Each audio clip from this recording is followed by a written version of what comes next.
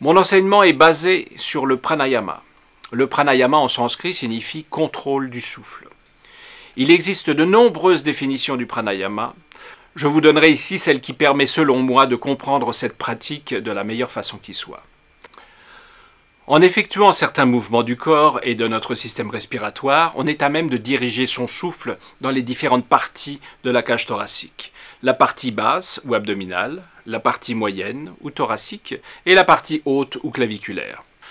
Ainsi, vous apporterez à l'ensemble de votre système respiratoire un entraînement lui assurant un excellent équilibre. Je vous permets de reformater votre cage thoracique afin qu'en inspirant doucement ou profondément, votre mouvement respiratoire soit harmonieux et commence lors de l'inspiration par le bas de la cage thoracique au niveau des côtes flottantes et se termine en haut au niveau des clavicules. Après avoir travaillé avec moi, Sachez qu'à partir du moment où votre cerveau a enregistré ce mouvement respiratoire naturel et harmonieux, plus jamais il ne l'oubliera. C'est comme la pratique du vélo. Nous allons donc euh, à présent aborder les 15 postures essentielles à une vie saine et équilibrée.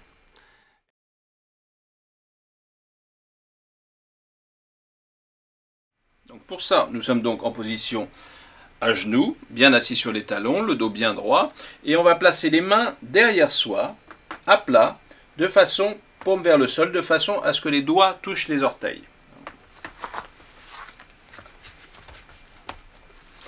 On place bien les mains à plat.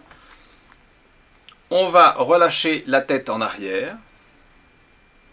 Et on va donc inspirer en soulevant le bassin. On inspire par le nez, et on expire par le nez également. Donc, un total de six fois. On y va. Inspiration. Expiration. Inspiration. Expiration. Encore trois fois, on inspire.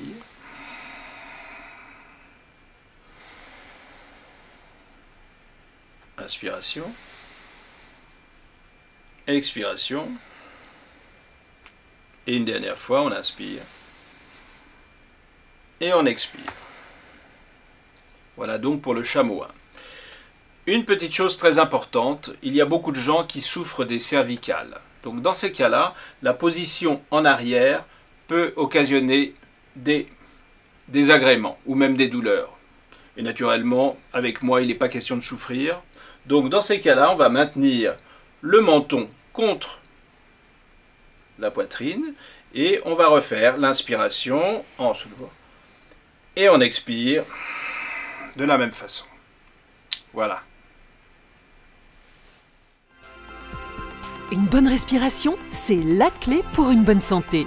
Dominique Longchamp, expert des techniques de pranayama yoga, va vous faire découvrir dans cette vidéo les meilleurs exercices et les meilleures postures à réaliser au quotidien pour développer votre respiration et retrouver enfin dynamisme et détente.